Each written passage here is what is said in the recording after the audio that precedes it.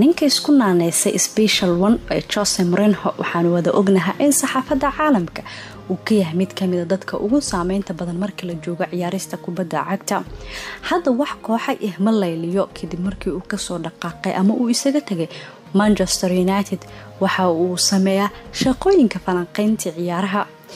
Dhowr meer ayuu ka soo muuqday falanqeyn isagoona tiiviyo kala duwan ay u wacdeen falanqeyntii u dambeysay waxaa ka soo ifbaxday sheeke isaga ku aadan.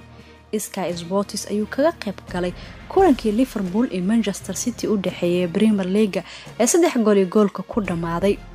Jose marinho keliya falanqeyntiisa lama eegeen waxaana xusid mudan in ay ku soo baxday sheekadaasi in ninkani uu gabagaboobay. Guurkii uu ku jiray wakhti fog jos marenho ayaa gacantiisu ay marneyd waana gacanta fargalka guurka la xirto isaga oo falanqeynta kaga soo muuqday in uusan fargalkaasi ugu jirin. Maalmihii u dambeeyey ayaa sheekooyin kala duwan laga soo qorayay ee ku aadan in ay macquul tahay noloshiisa qoysnimo in ay soo gabagabowday.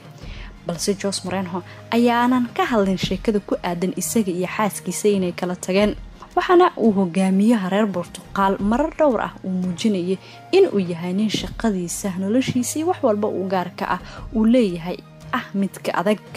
Ninkii hore ee chelsea iyo sidoo kale reaal madrid ayaa sawiradani ay muujinayaan in ay soo gabagabooda sheekada ku aadan isaga iyo xaaskiisa. Mar uu ka hadlayay sheekadaasi waxa uu yiri wax walba oo inaga xaggeena ah waa mid hagaagsan. Waa aabba leh saddex carruur ah sidoo kalena muujiyo in qoyskiisu uu u yahay midda ugu muhiimsan uu isagu leeyahay. Shayga ugu wanaagsan noloshayda waa qoyskayga iyo sidoo kale inaan noqdo aabbo wanaagsan. Maruu saxaafadda la hadlayay ayuu sidaas yiri jos marenho. Sheekada gurkiisa lagama shaacin khilaafaad isaga xaggiisa ah balse waa ay soo bixi kareen waxyaabo qarsoodi ah. Waxaase sheekada dabka ku sii shida ah in fargalka faraantiga uusan xirnayn waqtigii u dambeeyey uu falanqeynta kulankaasi kaga jiray. Laga yaabay inuu soo iloobay balse wararka qaar ee majalladuhu qorayaan ayaa sheegaya in jos marenho maqnaashiyaha fargalkaasi ay ka turjumayso inay soo gabagabooday sheekadiisii qoysnimo. Haddaba waa tuma xaaska uu qabo imise sano ayayna wada ahaayeen qoys wada jira matilda viara waa xaaska jos marenho iyaga oo guurkooda uu dhacay caruurnimadooda. Waqti fog oo ay saaxiibo ahaayeen kadib waa ay isguursadeen. Taa oo ka dhigneyd in ku dhowaad soddon sannadood uu xiriirkooda uu taagan yahay. Kii ayuu guurkoodu uu dhacay waxaana ay taa ka dhigan tahay in waqti fog ay wadayihiin lamaano wada jooga.